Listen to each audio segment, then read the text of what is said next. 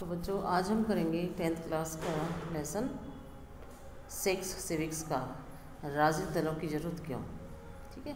किसी भी लोकतांत्रिक व्यवस्था की संस्थाओं में राजनीतिक दल अलग से दिखाई देते हैं। अधिकतर आम नागरिकों के लिए लोकतंत्र का मतलब राजनीतिक दल ही है। अगर आप देश के दूर दराज मतलब बहुत ऐसे इलाके हैं जहाँ कम पढ़े लिखे लोग रहते हैं तो वहाँ जाएँगे तो आपको ऐसे लोग मिलेंगे जिन्हें संविधान के बारे में या सरकार के स्वरूप के बारे में कुछ भी मालूम नहीं होता। बल्कि जबकि उन्हें राजनीतिक दलों के बारे में उन्हें ज़रूर कुछ ना कुछ मालूम होता है, लेकिन पार्टियों के बारे में हर कोई कुछ ना कुछ जानता है तो इसका मतलब यह नहीं कि पार्टियाँ बहुत लोकप्रिय हैं। अधिकतर लोग आमतौर पर दलों के बारे में खराब राय रखते हैं। अपनी लोकतांत्रिक व्यवस्था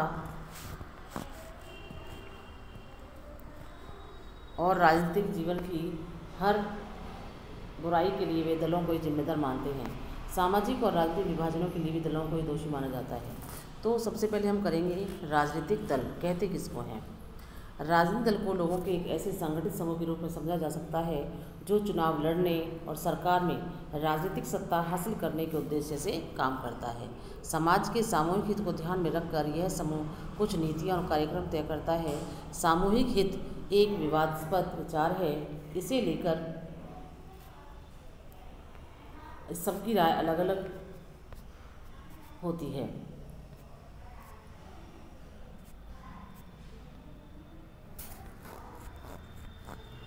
क्योंकि सब अलग अलग राय के लोग हैं, क्योंकि विभिन्न स्वभाव के लोग हैं समाज में तो सबकी राय इसके बारे में अलग अलग होती है। इसी आधार पर दल लोगों को यह समझाने का प्रयास करते हैं कि उनकी नीतियाँ औरों से बेहतर हैं। वे लोगों का समर्थन पाकर चुनाव जीतने के बाद उन नीतियों को लागू करने का प्रयास करते हैं। इस प्रकार दल किसी समाज की बुनियादी राजनीतिक विभाजन को भी दर्शाते हैं। पार्टी समाज के किसी एक हिस्से से संबंधित होती है, इसलिए इसका नज़रिया समाज के उस वर्ग, समुदाय विशेष की तरफ़ झुका होता है। किसी भी दल की पहचान उसकी नीतियों और उसके सामाजिक आधार से तय होती है। राजनीतिक दल के तीन प्रमुख हिस्से हैं। कौन कौन से तत्व होते हैं इसके राजनीतिक के नेता, सक्रिय सदस्य जो उनके साथ काम करते हैं और तीसरा है उनके समर्थक। ठीक है? ये क्वेश्चन मैं पहले ही करा दी राजनीतिक के कार्य क्या क्या होते हैं। ठीक है?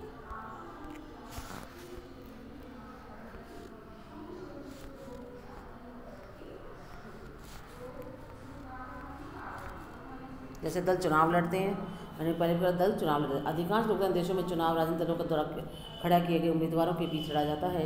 राजनीतिक दल उम्मीदवारों का चुनाव कई तरह से, कई तरीक़ों से करते हैं। अमेरिका जैसे कुछ देशों में उम्मीदवार का चुनाव दल के सदस्य और समर्थक करते हैं। अब इस तरह से उम्मीदवार चुनने वाले देशों की संख्या बढ़ती जा रही है।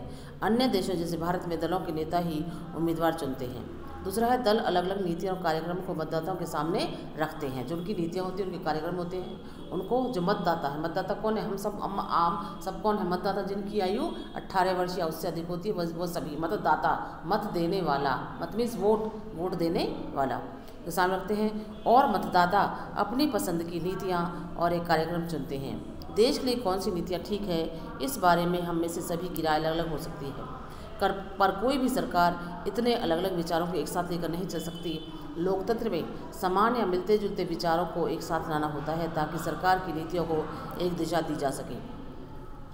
पार्टियाँ यही काम करती हैं। पार्टियाँ तरह तरह के विचारों को कुछ बुनियादी राय तक समेट लाती हैं, जिनका भी समर्थन करती है। सरकार शासित दल की राय के अनुरूप अपनी नीतियाँ तय करती है। पार्टियाँ देश के कानून निर्माण में निर्णायक भूमिका निभाती है। जो पार्टियाँ राजनीतिक दल होते हैं वो क्या करते हैं? कानून बनाते हैं। कानूनों पर औपचारिक बहस होती है, उन्हें विधायिका में पास करवाना पड़ता है। लेकिन विधायिका के अधिकतर सदस्य किसी न किसी दल के सदस्य होते हैं। इस कारण में अपने दल के नेता के निर्देश पर फैसला करते हैं। दल ही सरकार बनाते हैं और चलाते हैं। जो दल सत्ता में होता है, वही सरकार बनाता है और वही कानून बनाता है। पिछले साल पढ़ा था कि नीति और बड़े फैसलों के मामले में निर्णय राजनेता ही लेते हैं और ये नेता विभिन्न दलों के होते हैं। पार्टियाँ नेता चुनती हैं, उनको प्रशिक्षित करती हैं और फिर पार्टी के सिद्धांतों और कार्यक्रम के अनुसार फैसले करने के लिए उन्हें मंत्री बनाती है, ताकि वे पार्टी की इच्छा के अनुसार सरकार चला सकें। चुनाव हारने वाले शासक दल शासक दल की विरोधी पक्ष की भूमिका निभाते हैं। जो दल, जो चुनाव में हार जाता है, वे किसकी भूमिका रहता है? विरोधी दल की। सरकार की गलत नीति और असफलताओं की आलोचना करने के साथ वे अपनी अलग राय भी रखते हैं। विपक्षी दल सरकार के खिलाफ आम जनता को भी गोलबंद करते हैं। जनमत निर्माण में दल महत्वपूर्ण भूमिका निभाते हैं। वे मुद्दों को उठाते और उन पर बहस करते हैं। विभिन्न दलों के लाखों कार्यकर्ता देश भर में बिखरे होते हैं। समाज के विभिन्न वर्गों में उनके मित्र संगठन या दबाव समूह भी काम करते रहते हैं। दल कई दफ़े लोगों की समस्याओं को लेकर आंदोलन भी करते हैं। अक्सर विभिन्न दल, दलों द्वारा रखी जाने वाली राय के इर्द गिर्द ही समाज के लोगों की राय बनती जाती है। दल ही सरकारी मशीनरी और सरकार द्वारा चलाए जाने वाले कल्याण कार्यक्रमों तक लोगों की पहुँच बनाते हैं। एक साधारण नागरिक के लिए किसी सरकारी अधिकारी की तुलना में किसी राजनीतिक कार्यकर्ता से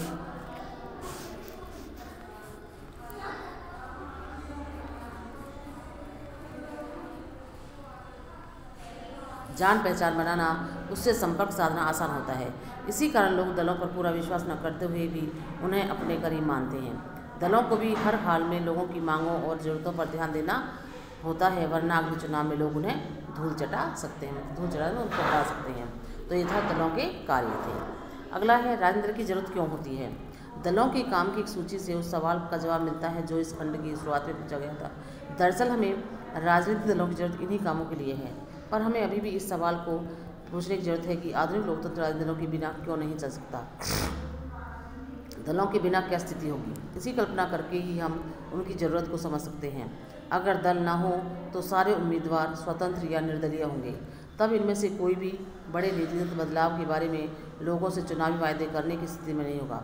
सरकार बन जाएगी, पर उसकी उपयोगिता संदिग्ध होगी। निर्वाचित प्रतिनिधि सिर्फ़ अपने निर्वाचन क्षेत्र में किए गए कामों के लिए जवाबदेह होंगे, लेकिन देश कैसे चले इसके लिए कोई उत्तरदायी नहीं होगा। हम गैर दलीय आधार पर होने वाले पंचायत चुनाव को उदाहरण सामने रखकर भी इस बात की परख कर सकते हैं। हालाँकि इन चुनावों में दल औपचारिक रूप से अपने उम्मीदवार नहीं खड़े करते, लेकिन हम पाते हैं कि चुनाव के अवसर पर पूरा गाँव कई खेमों में बढ़ जाता है और हम हर खेमा सभी पदों के लिए अपने उम्मीदवार को पैर उतारता है। राजनीतिक दल भी ठीक यही काम करते हैं, यही कारण है कि हमें दुनिया के लगभग सभी देशों में राजनीतिक दल नज़र आते हैं। चाहे वे देश बड़ा हो या छोटा, नया हो या पुराना, विकसित हो या विकासशील। राजनीतिक दलों का उदय प्रतिनिधित्व पर आधारित लोकतांत्रिक व्यवस्था के उभार से इसके साथ जुड़ा है। हम पढ़ चुके हैं कि बड़े समाजों के लिए प्रतिनिधित्व आधारित लोकतंत्र की ज़रूरत होती है। जब समाज बड़े और जटिल हो जाते हैं, तब उन्हें विभिन्न मुद्दों पर अलग अलग विचारों को समेटने और सरकार की नज़र मिलाने के लिए किसी माध्यम या एजेंसी ज़रूरत होती है। विभिन्न जगहों से आए प्रतिनिधियों को साथ करने की, ज़रूरत है ताकि एक जिम्मेदार सरकार का गठन हो सके सरकार बनाई जा सके। उन्हें सरकार का समर्थन करने या उस पर अंकुश रखने, नीतियाँ बनवाने और नीतियों का समर्थन अथवा विरोध करने के लिए उपकरणों की ज़रूरत होती है। प्रत्येक प्रतिनिधि सरकार की ऐसी जो भी ज़रूरत होती है, राजनीतिक दल उनको पूरा करते हैं। इस तरह हम कह सकते हैं कि राजनीतिक दल लोकतंत्र की एक अनिवार्य शर्त है।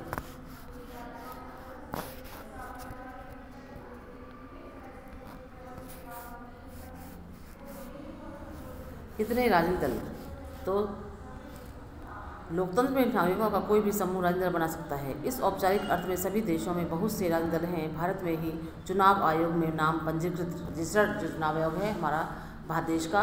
उसमें पंजीकृत में रजिस्टर्ड कराने वाले दलों की संख्या 750 से ज़्यादा है।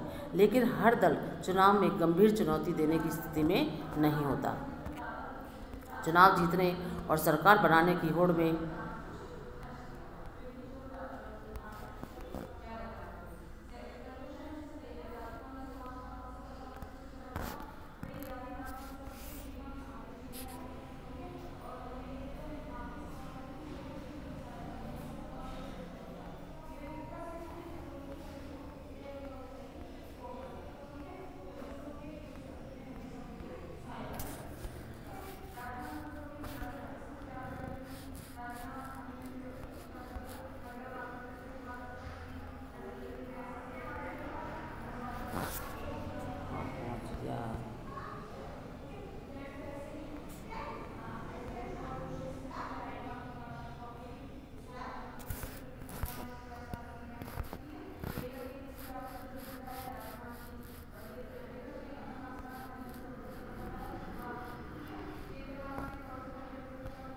कितने राजनीतिक दल तो कितने हैं सात सौ पचास से ज़्यादा हैं, लेकिन हर दल चुनाव में गंभीर चुनौती देने की स्थिति में नहीं होता।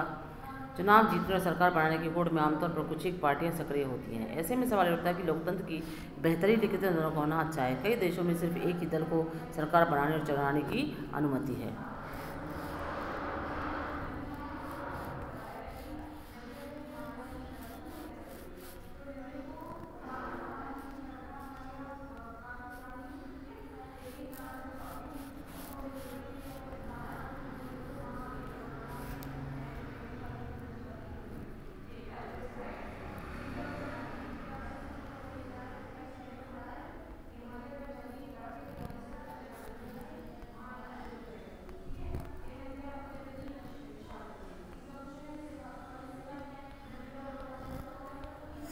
इस कानून ने एक दलीय शासन व्यवस्था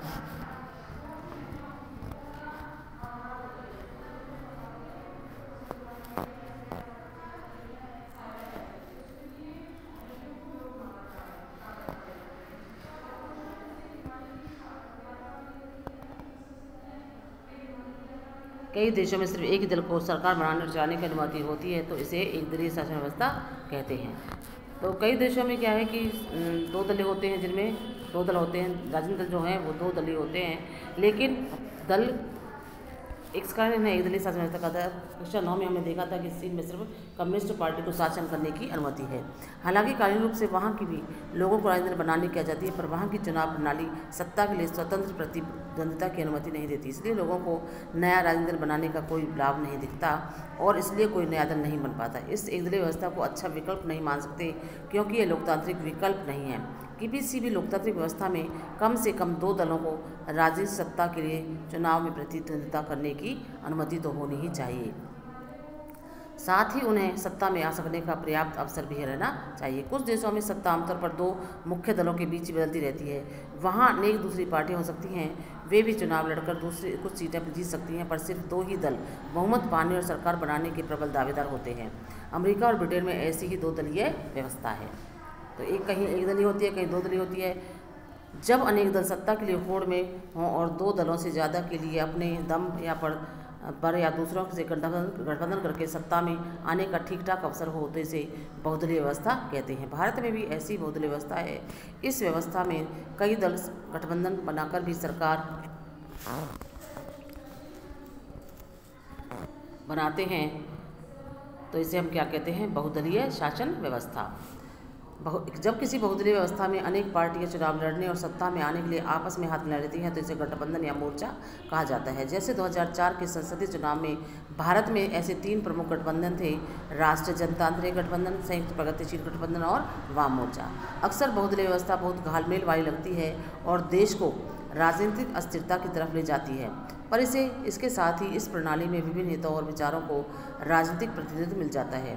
तो इनमें से कौन सी प्रणाली बेहतर है? अक्सर कुछ जानने वाले इस सवाल का संभवतः सबसे अच्छा जवाब यही होगा कि यह कोई बहुत अच्छा सवाल नहीं है। दलीय व्यवस्था को चुनाव करना किसी मुल्क के हाथ में नहीं है। यह एक लंबे दौर के कामकाज के बाद खुद विकसित होती है और इसे, इसमें समाज की प्रकृति, इसके राजनीतिक विभाजन, राजनीति का इतिहास और इसकी चुनाव प्रणाली, सभी चीज़ें अपनी भूमिका निभाती हैं और इसे इसे बहुत जल्दी बदला नहीं जा सकता। हर देश अपनी विशेष परिस्थितियों के अनुरूप दलीय व्यवस्था विकसित करता है। जैसे अगर भारत में बहुदलीय व्यवस्था है तो उसका कारण है कि दो तीन पार्टियाँ इतने बड़े मुल्क की सारी सामाजिक और भौगोलिक विविधताओं को समेट पाने में अक्षम है। हर मुल्क और हर स्थिति में कोई एक पार्टी, कोई एक ही आदर्श प्रणाली चला सके, यह संभव नहीं है। तो आगे हम अब कल पढ़ेंगे।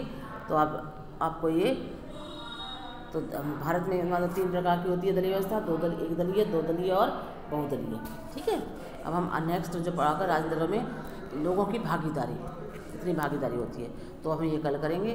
तो आपको अपनी किताब में से ये लेसन पढ़ना है, छोटे क्वेश्चन करने हैं और मैं क्वेश्चन आपको करवा भी चुकी हूँ कि राजनीति दल किसे कहते हैं राजनीति दलों के कार्य क्या है राजनीतिक दलों को कैसे सुधारा जा सकता है, सुझाव पूछे गए थे उसमें, और इसमें आपको छोटे क्वेश्चन करने हैं। तो ये